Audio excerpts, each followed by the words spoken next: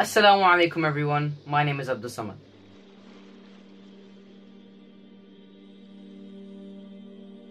And today I would like to share my personal experience about the Al-Emaan Centre. I've lived here all my life, and I naturally became connected with the Al-Emaan Centre shortly after they had opened. Almost immediately my family and I made many friends, and I also enjoyed meeting my friends from school, whose families were also part of the community. It was about this time last year that I was offered by the brilliant Dr. Umar Taha the recitation role with Ali for the mosque's open day. أعوذ بالله من الشيطان الرجيم بسم الله الرحمن الرحيم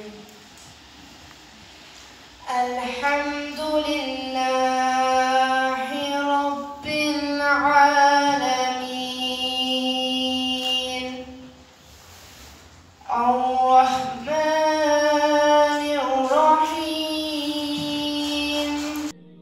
was at this event where I met a member of the Penny Appeal charity, and they've invited me to start doing the opening recitation for some of their events.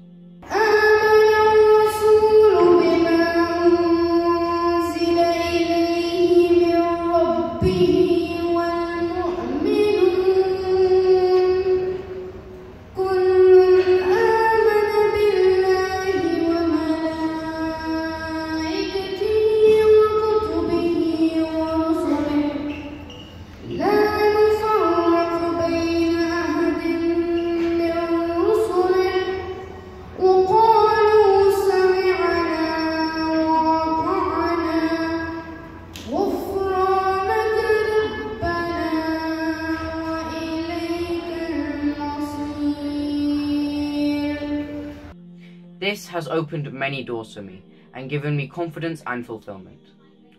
I already have many fond memories of events and occasions that have been arranged by the Al-Emaan Centre community, like energy lifting football and cricket at the Al-Emaan Centre Mega Fun Day, delicious cake at the Interfaith Walk with the local refugees, and even the very interesting Careers Day, where I got to learn so much about what all you aunties and uncles do for a living.